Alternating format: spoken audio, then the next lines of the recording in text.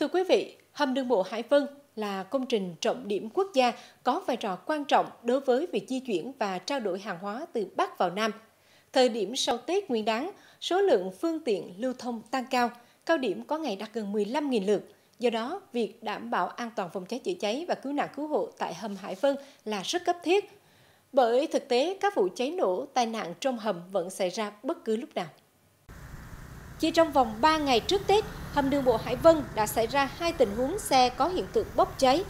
Nguyên nhân được xác định là xe chở quá tải trọng cộng với yếu tố kỹ thuật không đảm bảo. Trong năm 2021, tại hầm đường bộ Hải Vân đã xảy ra 25 vụ tai nạn giao thông và hai vụ cháy gây thiệt hại nặng nề. Nguyên nhân thì ờ, được ờ, cơ quan chức năng xác định rằng xe ờ, tải trọng nặng không đạt được tốc độ, từ đó có hiện tượng là bó thắng và dẫn đến cháy từ ở dưới gầm xe thì khi phát hiện lực lượng khi phát hiện được cái sự cố đó thì ờ, từ trung tâm điều hành ờ, chúng tôi ờ, triển khai ngay đội hình cứu hộ cứu nạn phòng cháy chữa cháy tiếp cận trong thời gian khoảng 15 đến 30 giây sau để tiếp cận hiện trường và chữa cháy ở ban đầu.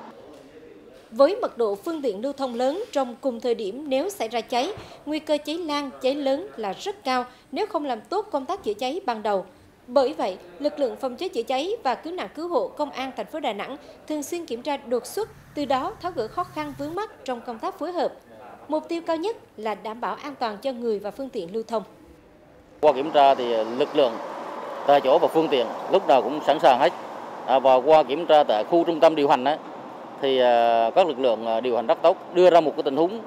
thì sau đó là từ vấn đề tín hiệu phát ra cho đến hiệu khi mà tập trung để giải quyết tình huống đó rất là nhanh và đảm bảo được cái ờ, tiêu chuẩn an toàn và trong vấn đề triển khai thực hiện các cái phương tiện dụng cụ trong vấn đề chữa cháy và cứu nạn cứu hộ tại đường hầm Hải Vân.